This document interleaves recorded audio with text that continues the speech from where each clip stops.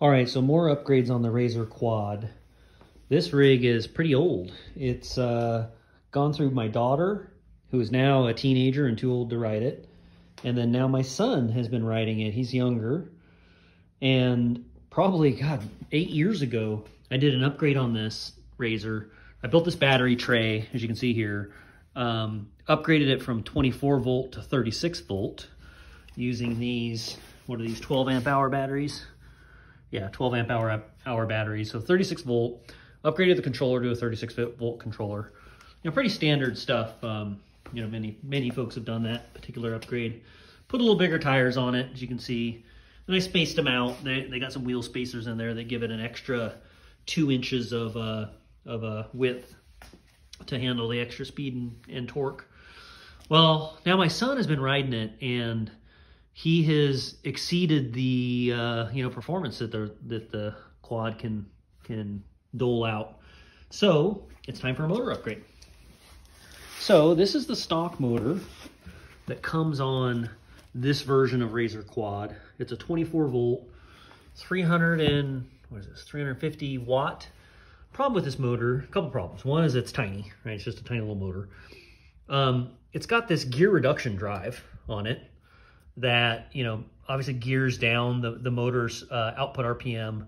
Then they kind of put a big, you know, sprocket on, on the end of that. Um, so I was previously overvolting this motor with a 36 volt system. It's designed for 24 volts. That gave it some more power and, or excuse me, gave it some more speed. And then I geared it down to give it better torque uh, with this larger sprocket. This is a 54 tooth sprocket and the one that's originally on it is smaller than that. I don't know what size it is. Um, but my son is, um, you know, he's advanced now. He's an advanced rider, if you will, and he's outgrown this. So it's time to upgrade this motor. So this is the old motor, right? And it's time to upgrade this to the new motor, which is here. So here's the new motor. It's a 36 volt, 500 watt with a uh, registered uh, uh, RPM of 2,500. Okay, I currently have a, so the Razor Quads, at least this version, run an 8 millimeter chain. And I've done some work on the chain. I can, uh, I have a, a, a, chain tool that can, you know, disassemble and add new links as necessary. Um, and so it's got an 8 millimeter 10 tooth pinion on it now, combined with this 54 tooth pinion and these tires, which are 13 inches tall, and the RPM of 2,500 RPM, put it right at about 18 miles per hour. It would be the, the speed that is calculated based on, you know, the full uh, RPM of, of this motor at full, at full speed. That's probably a little too fast. So I'm likely going to have to mess with the gearing a little bit. Um, but, you know, more to come on that. Okay, so for the motor upgrade, um, you know, there's there's a couple challenges here. So number one is this existing bolt pattern that the Razor Quad has is obviously designed for this tiny little motor over here. The new motor has a much larger footprint, right? It's a it's a wider motor this way, and then it has a different bolt pattern down here. Um, something else that that what I've done in, in kind of my, my approach here that I wanted to take into account, let me show you, is the position of the pinion. So this motor, obviously the output shaft of this motor, you can kind of see it here. Center line for the output shaft would be right here. With the gear reduction box and the pinion, the pinion on the pinion on, on this motor is actually, you know, more forward, up, and to the left, right? From, from what a normal output shaft would be. So the problem over here with this motor is if I just were to set this motor on here, right? You know, there's, there's a number of problems here. One is the pinion geometry is completely different uh, from the original because the original has a gear reduction on it. It puts all it puts that pinion kind of up and to the left. And so what I did was, um, well, I did a couple things. Um, so I, I need a bracket. So I built a bracket, and I need a bracket that will accommodate this ex existing bolt pattern.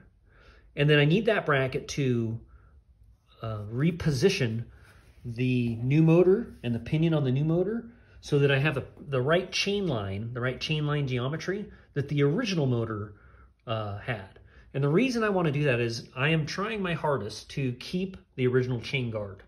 Okay, I don't want to have to customize and fabricate a, a, a new chain guard for this thing. Um, I can, but I, you know, I just don't really want to mess with that. So it's easier to keep the original geometry. And that helps you in a couple ways. So one is if I have raised the motor up in order to meet to get the pinion in the same location that it was originally, it helps me with some of the clearance challenges in this space. So a number of folks that have done motor upgrades, they, they run into a problem where the motor is too wide and it ends up interfering with the brake. There are some things you can do here. You can you know, space this brake out. You can flip this hub around. You can move the brake, you know, caliper. There's stuff that can be done over here, but, you know, I don't need to do that, you know, basically. You know, if I, I want to get this pinion angle uh, and the pinion geometry exactly how it was stock so that I can reuse the chain guard, and that will then afford me enough room to, to clear the caliper. Now I did I did do one slight modification here for the for the sprocket. Normally this sprocket, so there's this this axle flange here that is four bolt flange, which is what houses the sprocket. Normally the sprocket is on the inside of this flange. I did take the sprocket and flipped it, so it's now on the outside, right? So that gave me, I don't know, a few millimeter here of additional of additional clearance, right? So what I did was I built this bracket. Let me show you that. So here's this bracket, okay? It's pretty straightforward. It's basically two pieces of quarter inch steel, um, one piece with the bolt pattern, you can see my crappy paint job here, um, one piece with the bolt pattern that matches the existing uh, bolts, and I'll just kind of slap it on here so you can see that. Okay, so one, one plate of quarter inch steel matches this bolt pattern, another plate of quarter inch steel that matches the bigger bolt pattern, not only um, larger you know, bolt pattern, but also larger diameter uh, bolts for the new motor. And then this plate uh, is forward and to the left, and it's elevated, right? And so I did all the, the math and the measurements on this. It puts the pinion angle in the exact same location as the stock motor uh, was originally positioned. So I'll likely have to trim the, the chain guard a little bit, um, but the pinion angle will be identical. Let me show you that. Okay, so here's the original motor and how it was positioned. And you can see where the pinion, kind of the pinion and chain line geometry on where the pinion sat. Okay, and then here is the new motor installed on the bracket. Okay, so here we have the new bracket installed. Got the motor on it and all tightened down. And this is what it looks like. So you can see that this motor is, um, it's moved forward. So it's positioned forward from the original mounting location. It's elevated by 7 16ths of an inch, um, along with the two quarter inch uh, brackets. And then it's moved, shifted to the left. You can see how the two brackets uh, obviously don't sit square to each other. Um, and that gives us the proper chain line that's required. Let me show you that. So here's the chain line, okay? And then, you know, the motor is obviously squared, squared up in the chassis. Um, so here is what the original chain line looks like with the stock motor in its original placement and the uh, the pinion angle, you know, kind of where the pinion angle sets. And then here is what the new motor looks like. And you, as you can see, the pinion location is nearly identical to, or should be exactly identical, to the uh, stock location. Now, obviously, this chain is too long. I got to shorten it. Um, I'm going to try to fab up the chain tensioner as well. I may need to build another bracket that goes on here in order to kind of hang the chain tensioner in the right location. I don't know if there'll be room for it, but i am going to give it a try as well. Okay, so here's the stock chain tensioner, and it just doesn't look like it's going to be able to work in any way. I mean, aside from the mounting location being off, you know, I can build a bracket to relocate the mounting location, but this motor housing is just so big you know, and along with the larger uh, sprocket down here that there's just not room in here. There's not really room like there was before to run the chain tensioner. Even if I were to build a bracket that kind of flips it around, there's just not a lot of, there's just not enough room in here to run it. not only that, given the fact that this motor being a direct drive has such a small sprocket on it, on the pinion side, you know, in order to get the right torque and the RPM that I need, or the speed that I need, I got to run a really small sprocket up here. Um, there's just, there's not much play in the chain for the tensioner to take up. You know, it would be super close together. So I guess I'm just not, I'm going to try it. You know, my only option here is to try it without the chain tensioner and see, I'll just run it direct. So the chain will look something, you know, something like this. I'll run it direct. And of course it'll have a chain guard on it, um, you know, for safety purposes. But we'll try it direct and, you know, with an eight millimeter tooth here, you know, we got enough depth to, you know, really prevent this chain from jumping. But we're gonna, we're gonna have to um, modify the chain and run it direct. Okay, so here's the final chain setup. Okay, so no chain tensioner. They're not going to fit. Um, I got the chain all set up. It's an 8 millimeter chain. You can see it's set up pretty good. It's got a little bit of play, but not nearly enough that it's going to jump sprocket. Um, it's actually a nice amount of amount of play. Uh, it's all lubed up and everything. So I'm on a 10 tooth, 8 millimeter pinion. I'm on a 54 tooth sprocket.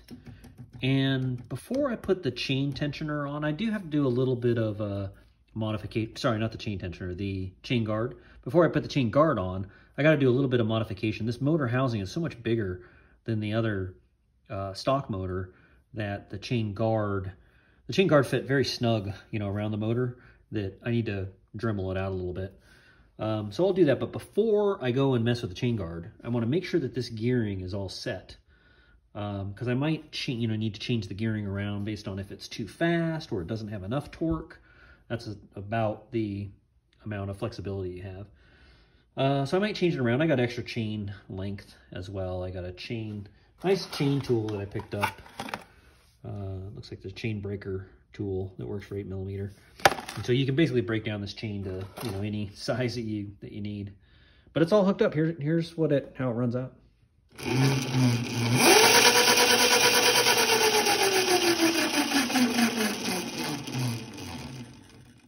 So it runs out pretty good. And I'm gonna put the body back on put it back together and we'll run that out and see if it needs to change gearing. Okay, so I decided to do the chain guard anyways. When I was test fitting it up here, I noticed there's enough room down at the bottom of this chain guard for the main sprocket, the drive sprocket, um, to have some, some you know, flexibility. So even if I change the gearing around and I end up putting a bigger main sprocket on it, or drive sprocket, the chain guard's still gonna fit. Like there's there's enough room in there. So I went ahead and just decided I was gonna make this modification now. So what I did is, uh, you know, it's just a plastic unit, all one piece. And the original motor, you can see a little bit of the flange here. The original motor basically went about in this location. But given that this motor is so much larger and it's, you know, the motor housing is centered on the on the drive, you know, uh, uh, output shaft here, whereas the other motor was all offset because of that funky gearbox. Um, I had to basically cut the whole top, you know, out of this chain guard with just a Dremel because uh, the, the, you know, the new motor's up in here. Okay, and then the final product with the chain guard on, you can see the chain guard is all bolted up in its normal location and it covers the whole new motor, which is pretty cool. So all that effort, all that effort to reposition the upgraded motor so that it fits in the same location as the original motor was really so that this chain guard and the original drive you know, the drive line or the chain line geometry would all be, be the same as it was stock. Cool. So let's throw the body on and go take it for a spin. Okay, so here's the finished product. The chassis is all complete. The motor is in. The new bracket that I made to mount the motor is all tightened down. chain guard modifications I had to make to it looks good. It's all installed. I rotated the tires. and then up front, you know, this is my prior work. There's the three 12 volt, 12 amp hour, total of 36 volt uh, battery and the tray that I made for it. and then the 36 volt controller. So that's it. Time to uh, install the body back on and give it a rip. All right, so just got back from a test ride and it runs out really good. So that's a nice motor. It's smooth, it's got good response. But I will say the work is not done. So the gearing, as I suspected, is off. It's too long-legged, or the gearing is too tall. Um, with me on it, I'm an adult, about 180 pounds. It's uh, slow to get going, right? So it doesn't have enough torque. And then it's way too quick uh, top speed, top speed wise.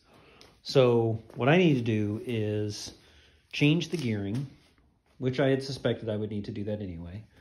Um, so I have on there now a 10 tooth pinion on the motor and a 54 tooth sprocket on the drive axle. Uh, so there's a couple options for me.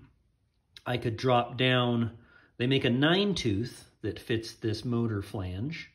So I can drop the pinion down to a nine tooth and then I can move up from a sprocket standpoint from a 54, I think the next size up is a 63. Um, and that should fit just fine within this chain guard. They do make a 72 tooth sprocket, which is really big. And that um, probably wouldn't fit and it might be overkill. So I'm going to try the 63 tooth sprocket and I might buy a nine tooth pinion just for the heck of it. Uh, gear that down a little bit and that'll lower the top speed and give it some more torque.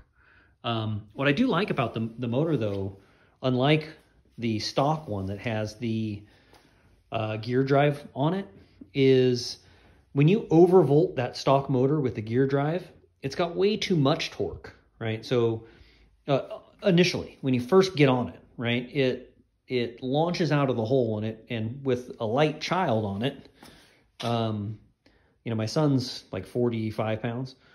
It's way too much torque right off the get-go. And it always jerks his head. You know, he wears a full-size dirt bike helmet. And it jerks his head back. And, you know, he's he's since learned how to kind of feather the throttle. But, you know, this this is a five-wire throttle. You know, there's just not a lot of, you know, variable uh, speed there. Um, so what's nice with this is, you know, given that there's no gear drive, it takes a bit for that motor to get to get up to speed. So that immediate um, throttle off the line is a little softer uh, with this. So that's going to be good. So let me change out this gearing and uh, check back in.